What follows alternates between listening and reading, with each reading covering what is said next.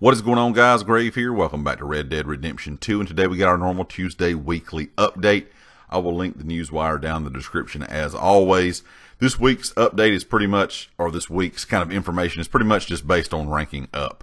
Uh, it, no matter if you're a long-time player or a new player, there's something kind of here for everybody. If you reach rank 10 this week, you'll get a reward of a free hunting bow and an offer for 5 gold bars off the bounty hunter license. If you reach rank 20, you get an offer of 50% off a shotgun of your choice and an offer of 50% off a revolver of your choice. If you reach rank 30, you get a reward for a free machete and an offer of 50% off all of the repeaters. Uh, of course, you can pick one of your choice.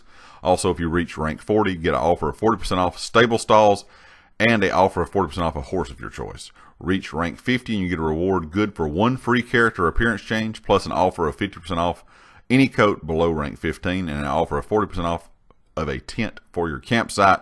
And for all players beyond rank 60, you get a reward for a free Navy revolver and an offer for a 40% off a camp dog of your choice and an offer of 50% off a stable stall and five free moonshine mash refills. Also, it says gunslinger should take advantage of the 40% discount on all revolver, repeater, and rifle ammo.